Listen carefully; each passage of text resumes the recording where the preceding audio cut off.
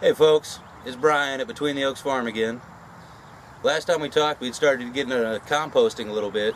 We've had a lot of questions online about composting, and they've run both ends of the spectrum. Uh, people who really want to get into composting to start building their own soil, uh, you know, truly self-sustaining soil building, to the other end of the scale, to what's a fun, easy, lazy way to get it done and feed my plants. So uh, I guess we'll start with the hard work aspect first.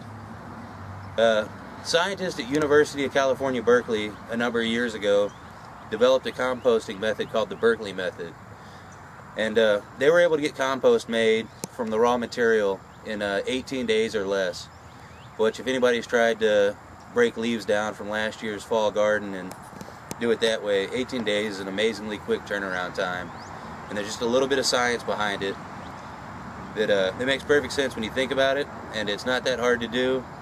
It just takes a little bit of dedication with your pitchfork and turning the pile once it's ready. So building the pile, we build in layers. Uh, a layer of green, a layer of brown, and then a layer of manure input. We've already put the chicken poop down, and don't worry, we'll stay in chicken poop because we'll have our chickens here soon. So we've secured our own source of ammonium and nitrogen to build our piles. So what's the chicken manure? You can use anything, rabbit manure, horse manure, uh, but you build your compost pile in layers, pretty much equal layers of each item. So once the manure's on and your green layer's on, you finish it. You finish it with the brown layer.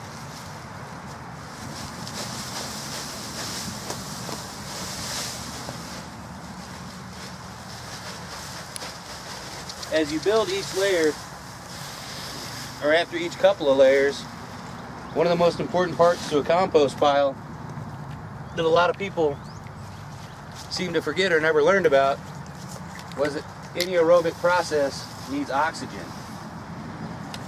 So staggering pipes through your compost pile to allow air to get into the microbes is just as important a part of the battle as adding water to your compost pile and not letting it dry out.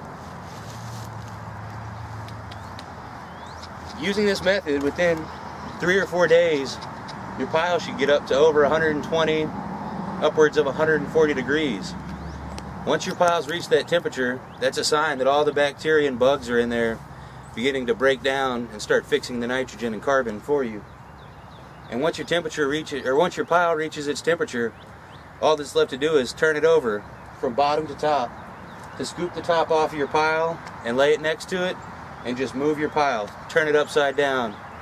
And if you do that every three days or so, it's feasible to have your own homemade compost in, you know, 18 to 25, and on the low end, you know, 30 days. And truly self-sustaining compost building the good old-fashioned way. Thank you for your interest in composting, and uh, I guess we'll get into worm casting composting in a little bit. Uh, I'm Brian at Between the Oaks Farm. Visit us online at www.betweentheoaksfarm.com. And if you have any questions, feel free to hit us up on Facebook or on the web. Have a good day.